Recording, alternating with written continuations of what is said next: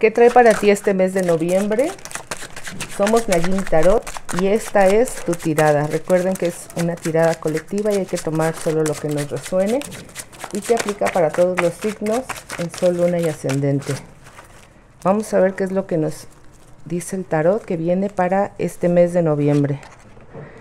Primero que nada viene encontrar el equilibrio.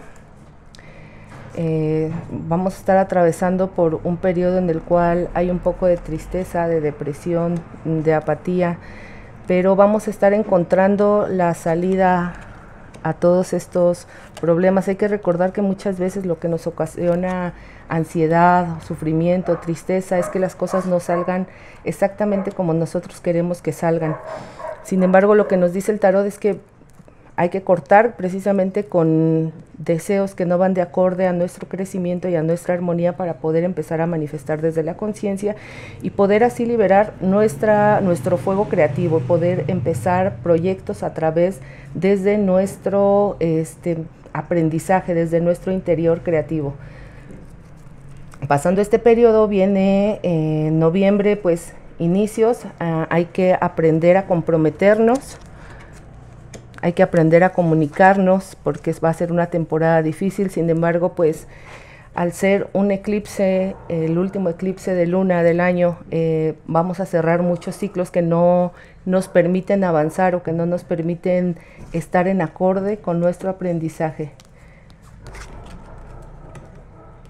También el tarot nos recuerda que hay que hacer lo correcto, que hay que ir despacio, sin prisa, pero siempre siendo constantes en la búsqueda de nuestra propia armonía para que podamos estar abiertos a poder recibir los dones y las bendiciones que el universo tiene para darnos mediante los proyectos colectivos, mediante la comunidad, saber que podemos hacer cosas para eh, mejorar no solo la, nuestra situación, sino también la situación de todas las personas que nos rodean y las personas que amamos. Para esto es necesario que podamos, em, que tengamos que hacer mucha introspección a través de la meditación, a través del yoga, a través de respiraciones conscientes, para poder obtener las respuestas que están adentro de nosotros y poder salir de ese estado de apatía, de tristeza y de dolor.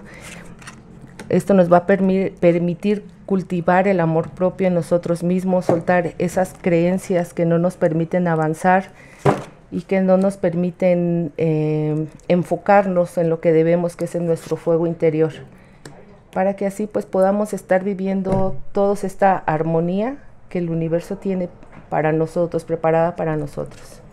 Recuerden seguirnos para más contenido. Somos Nagini Tarot.